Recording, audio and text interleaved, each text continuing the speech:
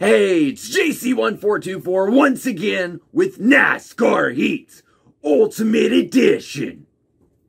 Plus, and in this episode of our season, as Ryan Blaney and his number 12 Menards Ford, we're going to Phoenix Raceway for the Fan Shield 500. A stupid race name. Frickin' stupid race names. Last episode, we went to Vegas, where we finished fifth, and we ran fifth, like all race I did crash the car trying to enter pit road, and aside from that, nothing really happened. But uh, your your race winner at Vegas was Keselowski, battling Denny Hamlin. Uh, we had Byron at Homestead, and uh, Cindric won the Daytona 500, just like in real life.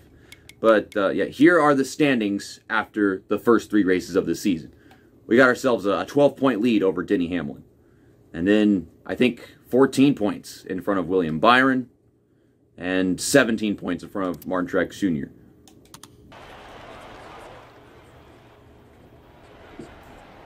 The Sam's Cola. I don't know what this is. Tastes like Coca-Cola, but not at the same time. Watch, the next shot is going to be of Ryan Blaney. Except they didn't make the the new fire suits or something um, update the animations. So he's just invisible. And the pit stops are invisible. But it's like, you know what? I want to play with the 2021 content, not just go back with the regular Heat 5 2020 content. We already did that with all the freaking Xfinity series and the Truck series. This is just to make up for the fact that I never got Heat 5 because it was Heat 4. This is Heat 4. Now we're going to have Heat 4 4 this year, except it's called NASCAR Rivals. As you can see, I got a custom race set up on. We're going to skip the practice, and I'll show you that setup after we run our qualifying. Let's say the only thing I changed on the setup man's video for his NASCAR Heat 5 Phoenix setup was the wheel lock. And I only did that because he said so. He said if you're on control, you should probably run like 10 or 12, not 8. So I put it on 11. It's like, oh, if it's 10 or 12, let's go 11. And about 0.4 seconds off pole time. But we're starting 11th at the moment, so that's on the inside. Oh my gosh, all these white numbers. What is with the Cup Series and white numbers? I swear they got that fucked up. Denny Hamlin and William Byron, our championship competitors, are starting on the front row.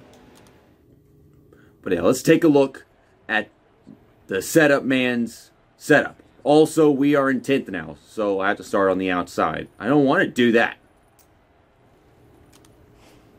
Okay, so, yeah, there you go. So you got your 5533, 5444, and then this stuff is that and, and that. And I feel like I'm exploiting his setup by using it and showing it, but I do reference that it is his. But now you're not inclined to just go to his video. Let's get back out and get into the race. Like, should I have never done it like that in the first place? Should I have just said which setup I was using, and then if people wanted to use it, they go to that video? I don't freaking know. At some points, people ask me why I'm doing so well whenever I'm not using the setup. And that's just because I'm good at driving and you're fucking not. I don't know. Like, I, there was just like the Charlotte race where I was leading and I was just running the basic default setup. I'm like, I, I don't know. I just drive. And I've been playing NASCAR games since since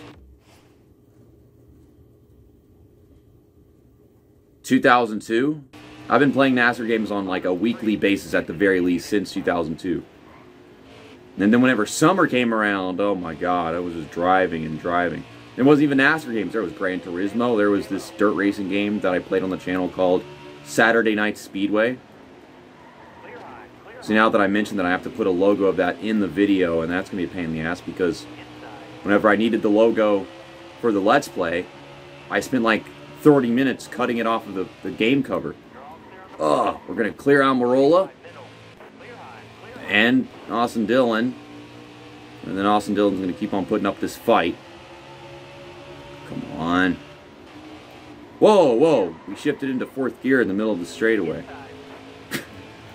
yeah, I, I, didn't practice with the setup. I just put it in there and trusted the guy.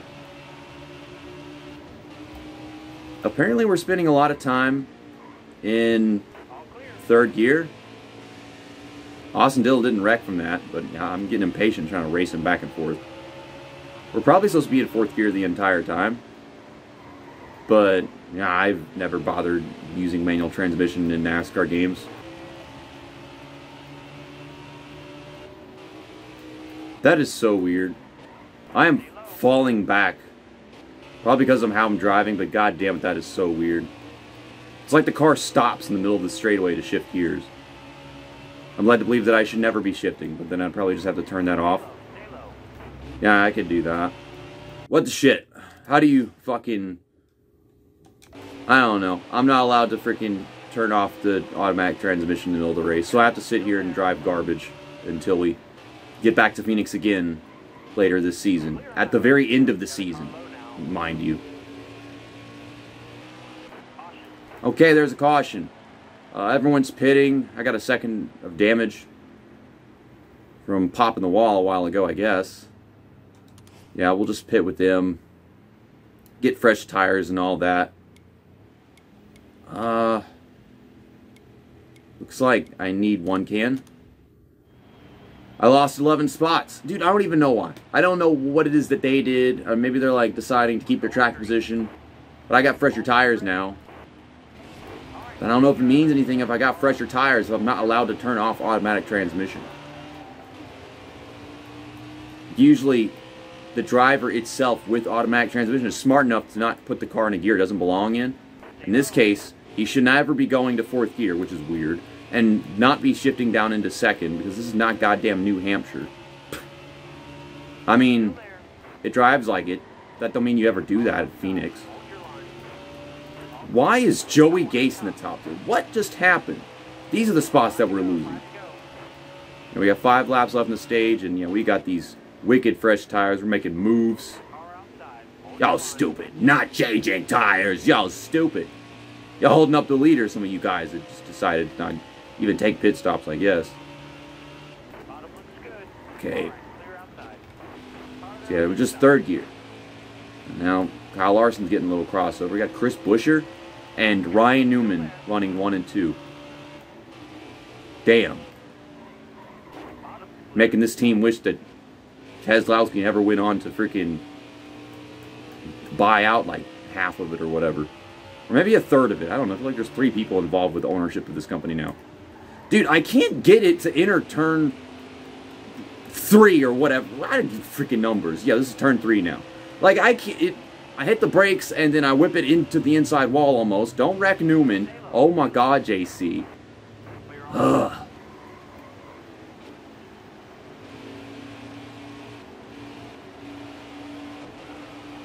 Ah! Larson. Car. God damn. Can't get it to, to rotate off the freaking corner. Also very difficult to, to enter a corner. It, it just feels wonky now. It feels way easier to drive this track in the Xfinity Series. I don't feel like these cars should be that different. Ugh, well, oh my god, they're just stopping right here. I mean, maybe that's why I can't exit the corners, because I have such better entry. And I could have won that stage. Instead, I get second. I don't feel like I'm driving that good. But at the same time, this, this car is something else. I gotta fuck up this setup whenever we make the final four. And I don't know if we're gonna win the, the playoff junk, but I I just don't want the car to drive like this and sound like this and feel this way. Uh, but I'm gonna leave it all the same because we are in contention to win. That's the end of the first stage. Yeah, just the first stage. Usually it's the end of the second stage by now.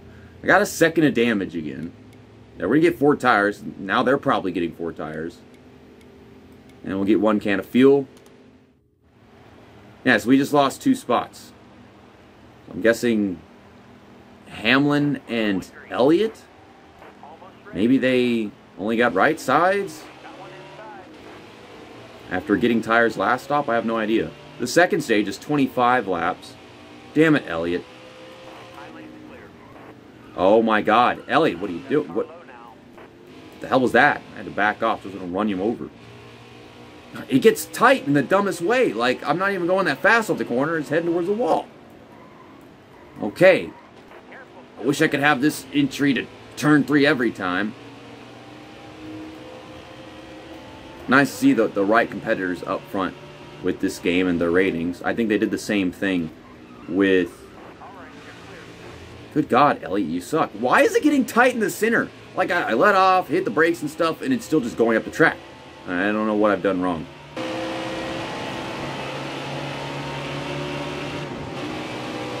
God, the way the car just bounces and jerks itself off. God damn. Like, are you seeing it wobble whenever I drive onto the dog leg? Like, is it hitting the, the pavement? I don't know. Oh, I was about to enter turn three, and then there's a caution. You know, we're keeping up. Whenever I'm in the zone, and Bubba got up to fourth. I mean, I guess he was already up here. I'm just now realizing he's having a good run. Uh, no one's taking a pit stop under this caution. Okay.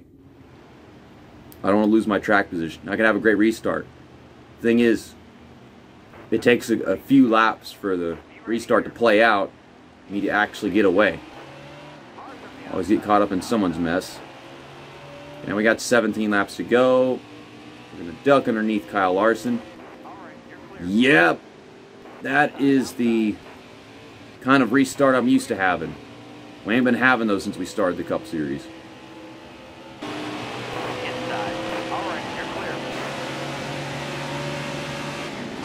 Denny.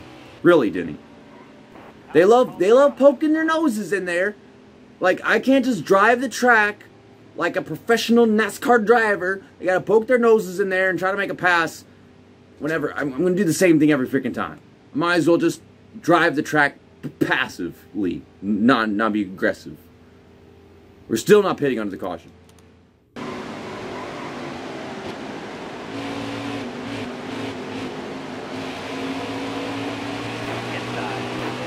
Yeah, that was freaking awful.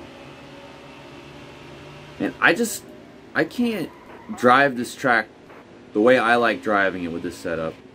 I need to just not use this setup. like, it does so many things not the way that I like, that I have grown into Phoenix with. I'm pretty sure whenever I played NASCAR Heat 4, I was definitely using something by Knee Pit Gaming at Phoenix. And then I started seeing videos from the setup man for Heat 5, and I just kind of pick one. I should stop doing that and just stick with Knee Pit Gaming setups.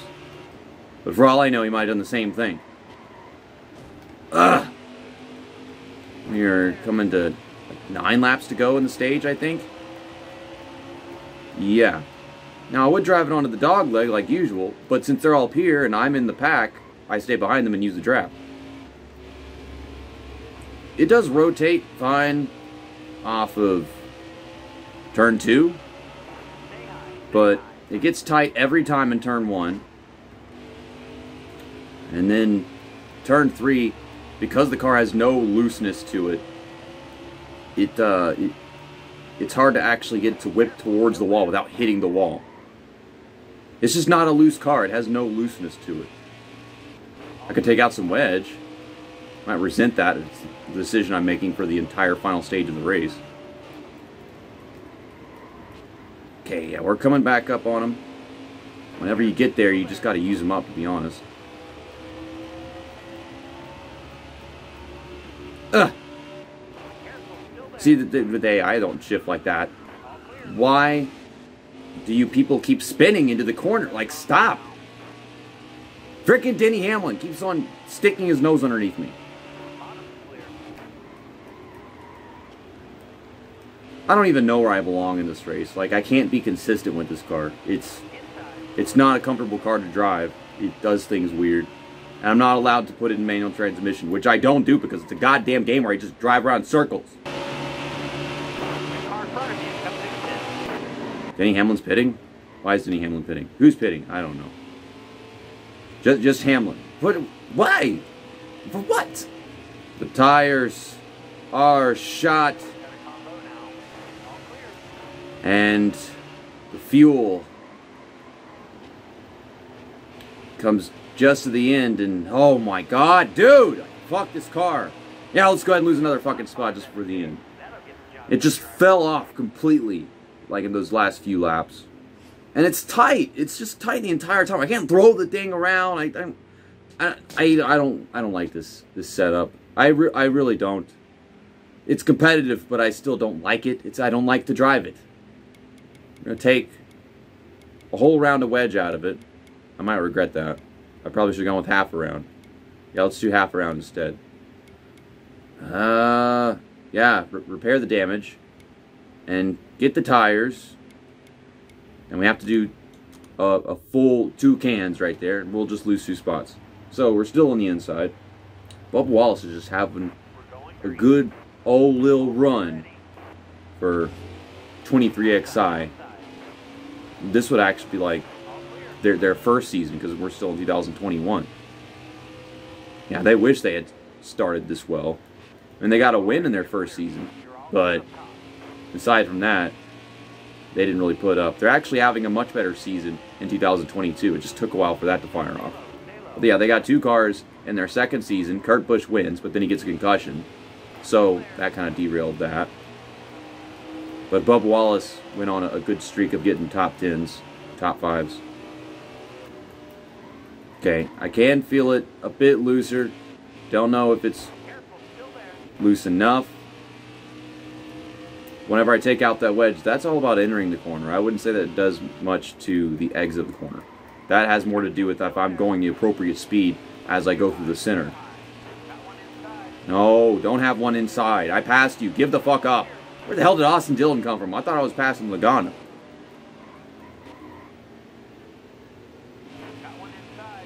Shut up! Stop it inside. No. We're so good early on, but like, damn, this thing falls off fast. Or I wouldn't say it falls off fast, it's just bad whenever it falls off.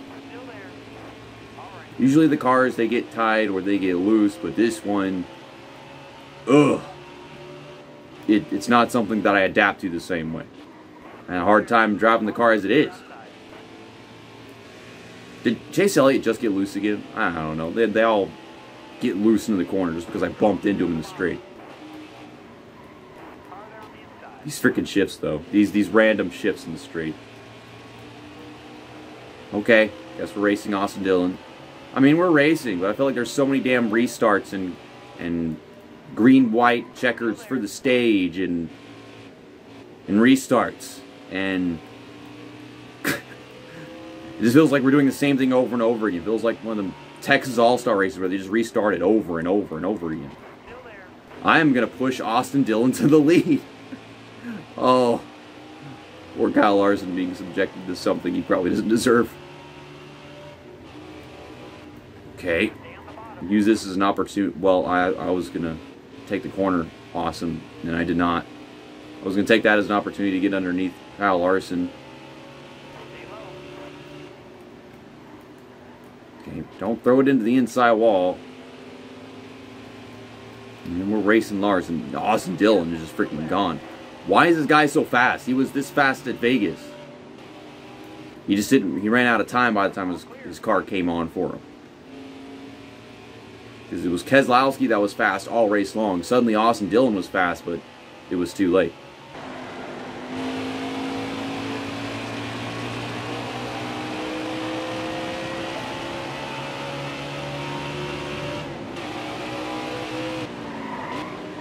It won't stop bouncing around. Fuck, man. It bounces around. It wiggle waggles. And I don't like it. Oh my god. I was working on Austin Dillon.